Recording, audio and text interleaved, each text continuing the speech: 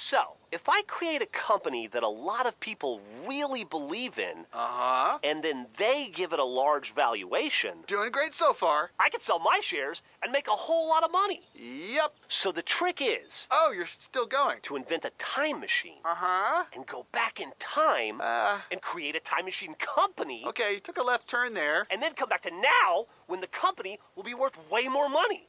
I guess that'd be a way to do it. I'll be right back. Honestly, it's not the worst idea. Have you guys seen the market? Except for some company called My Time Travel Company Rules Co. It's really popping off. Uh, gentlemen,